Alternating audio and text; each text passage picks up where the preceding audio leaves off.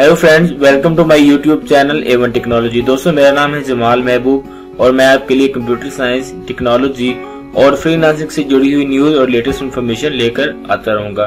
दोस्तों, अगर आपने मेरे चैनल को सब्सक्राइब नहीं किया तो please subscribe my channel friends आज की इस वीडियो का मकसद बहुत सारे ऐसे दोस्त हैं जो पाकिस्तान एयरफोर्स को ज्वाइन करना चाहते हैं और बहुत सारे ऐसे क्वेश्चंस हैं जो उनके जहन में है। कि किस टाइप का टेस्ट होगा इनिशियल टेस्ट कौन सा होगा?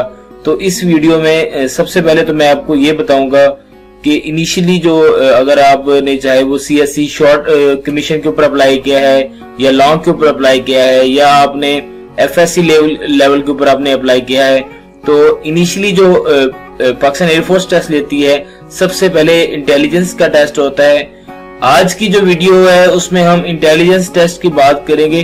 पाकिस्तान एयरफोर्स का जो बेसिक इनिशियल टेस्ट होता है, जिसको हम इंटेलिजेंस टेस्ट कहते हैं, उसके हंड्रेड मार्क्स होते हैं और उसके दो पोर्शन होते हैं। पहला पोर्शन उसका वर्बल होता है, जो कि फोर्टी मार्क्स का होता है। सेकंड पोर्शन उसका नॉन वर्बल होता है, जो कि सिक्सटी मार्क्स का होता है। और इसके लिए टाइम अलाउड होता है, वो थर्टी मिनट्स का होता है।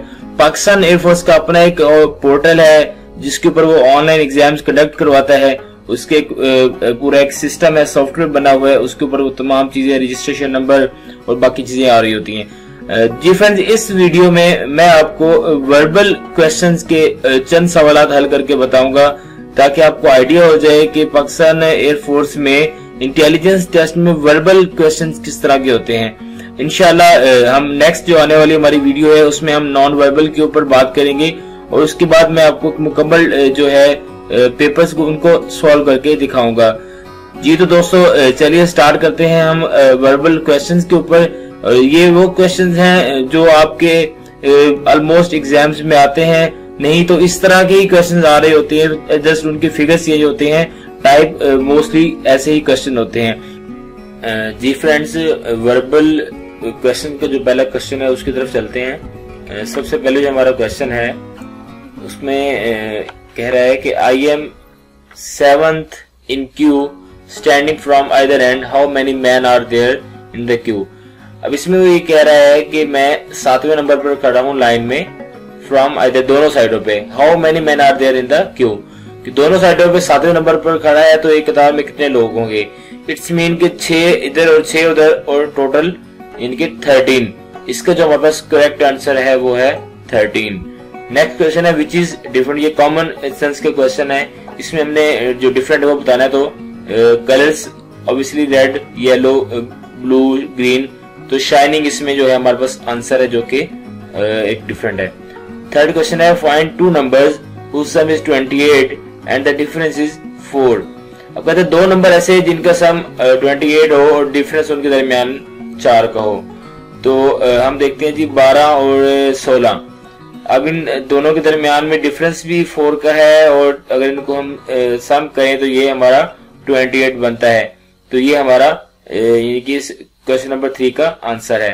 अगर हम इसको देखें तो ये इसका सम जो है वो तो बनता है, लेकिन इसका जो डिफरेंस है वो बहुत ज़्यादा है।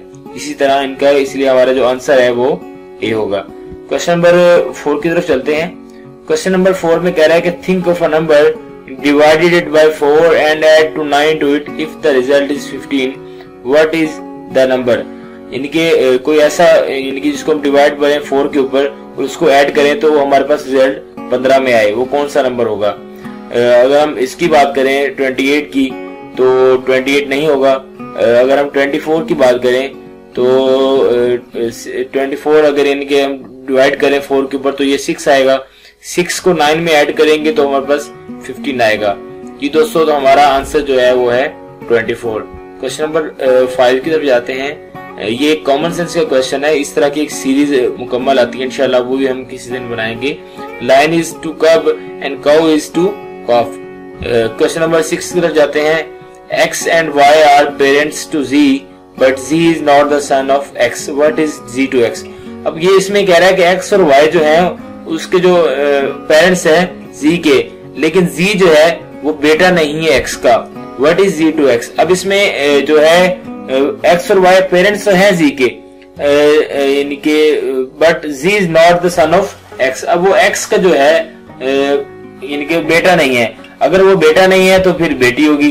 तो हमारे पास क्वेश्चन है a daughter question number seven की तरफ़ चलते हैं। What number one multiply by itself give four more than sixty. कौन सा ऐसा नंबर है जिसको खुद से मल्टीप्लाई किया जाए तो 60 में फोर मोर ऐड कर दे तो वो आंसर हो। तो ऑब्वियसली एट एट जा सिक्सटी फोर है। इनके अगर हम एट को एट से मल्टीप्लाई करते हैं तो 64 आएगा। अगर 60 में अगर हम फोर ऐड कर दें तो 64 आएगा। नाइन भी नहीं होगा सेवन भी नहीं होगा सिक्स भी नहीं होगा। क्वेश्चन नंबर एट की तरफ़ चलते हैं। Find out the stranger in the following figure 14, 18, 22, 42 obviously 21 जो है ये हमारे पास सिक्स स्टेंजर है इस फिगर्स में। क्वेश्चन नंबर नाइन है हमारे पास father is 36 year old and his son is 16 year old how many will the father be as old son इसमें कह रहा है कि बाप की उम्र 36 साल है और उसकी बेटे की उम्र 16 साल है। How many years will the father be twice as a old son कितने सालों बाद उसके जो यानी कि बेटे की उम्र के दो गुना उसके बाप की उम्र हो जाएगी।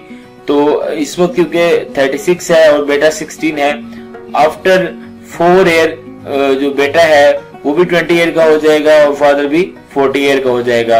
इट्स मीन के फोर ईयर्स के बाद ट्वाइस हो जाएगा अपनी बेटी की उम्र क्या उसके वालिद क्वेश्चन नंबर टेन की तरफ़ चलते हैं। A man start climbing a hill every minute he ascends 20 metre but slip down 5 metre एक आदमी जो है वो एक पहाड़ी के ऊपर चढ़ना शुरू करता है।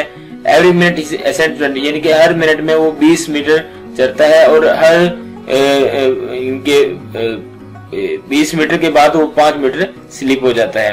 How long will he take to ascend a point of 80 metres high अब 80 मीटर के, यानी कि मतलब उसको चढ़ने में कितना टाइम लगेगा?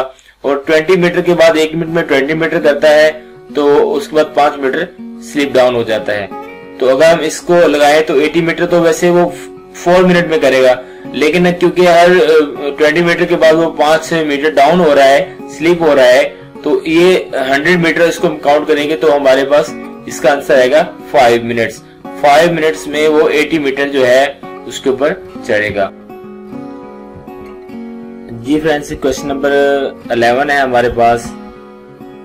The sum of ages of Ali and Ahmed is 34 years the difference between their ages 8 years what are their ages अब हमारे पास जो सम है, अली का और अहमद का, वो 34 ईयर्स है और इनका जो डिफरेंस है, वो 8 इयर्स का है। यहाँ पर देखते हैं जी सम भी हमारा जो है, वो 34 नहीं हो रहा और यहाँ पर सम तो हमारा 34 हो रहा है, लेकिन जो डिफरेंस है, वो 8 ईयर्स का, वो नहीं हो रहा। यहाँ पर देखते जी, हमारे पास एक तो सम भी 34 का हो रहा है, हमारा जो डिफरेंस है वो भी 8 इसके मीन इनके जो हमारा क्वेश्चन नंबर 11 है, उसका आंसर है सी क्वेश्चन नंबर 12 है जी, हमारे पास Aslam is six year older than his wife Aslam जो है वो अपनी बीवी से छह साल बड़ा है। Is four times as old as her daughter? वो अपनी इनके बेटी से चार यानी कि फोर टाइम्स बड़ी है। If the daughter was five year old three years back what is the age of Aslam Aslam छह साल बड़ा है अपनी बीवी से, और जो कि उसकी बीवी चार टाइम यानी कि बड़ी है अपनी बेटी से, और अगर उसकी बेटी की, इनकी जो उम्र है वो पाँच साल है, तीन साल पहले what is the age of Aslam यानी कि इस वक्त क्योंकि five is old three year back यानी कि तीन साल पहले यानी कि उसकी उम्र जो थी वो पाँच साल थी तो अभी जो है वो इस वक्त उसकी उम्र आठ साल होगी। अगर आठ को हम फोर से करें तो थर्टी टू बनता है। और थर्टी टू में अगर हम, यानी कि छह साल बड़ी है तो थर्टी टू में अगर सिक्स ऐड करें तो थर्टी एट बनता है। यानी कि असलम की जो एज है वो है थर्टी एट हमारा जो क्वेश्चन नंबर ट्वेल्व का आंसर है वो है thirty eight question number thirteen जी हमारे पास है my mother is the sister of your brother what relation I am to you मेरी माँ तुम्हारे भाई की बहन है, यानी कि तुम्हारी बहन है what relation I am to you cousin भी नहीं होगा ब्रदर भी नहीं होगा सिस्टर भी होगा नेफ्यू होगा, इनके भांजा होगा। क्वेश्चन नंबर फोर्टीन है हमारे पास। Aamir is taller than Adil Aamir जो है, वो बड़ा है आदिल से but Adil is shorter than Adil और आदिल जो है, वो छोटा है अदिल से। And Aamir is also taller than Adil और आमिर जो है, वो भी, वो बड़ा है किससे? अदील से। Who is the shortest one इसमें हम देखते हैं जी आमिर किससे बड़ा है जी? आदिल से। यहाँ पे आदिल क्या होगा? शॉर्टेस्ट होगा। अब यहाँ पे कह रहा है Adil is shorter than Adil यहाँ पे भी आदिल शॉर्ट है। उसके बाद and Aamir is also taller than Adeel और आमिर जो है अदील यहाँ क्योंकि ऑलरेडी आमिर और अदील बड़े हैं तो हमारे पास जो शॉर्टेस्ट वन होगा, वो होगा आदिल क्वेश्चन नंबर फोर्टीन है हमारे पास which is different Lahore Punjab Rawalpindi Multan obviously Punjab क्योंकि इसमें एक डिफरेंट वन है। क्वेश्चन नंबर सिक्सटीन है जी हमारे पास इसमें कहते हैं y and z are children of x. X is father of y but z is not the son of x. What is z to x? ज़ाहिर सी बात है, अगर वो बेटा नहीं तो बेटी होगी। क्वेश्चन नंबर सेवनटीन है जी। It take five minutes to boil a single egg how much time will it take to boil eggs together अगर वो एक यानी कि अगर अंडा बॉयल तो पाँच मिनट लेता है। तो ज़ाहिर सी बात है, अगर ज़्यादा अंडे होंगे तो फिर भी वो पाँच मिनट ही लेगा।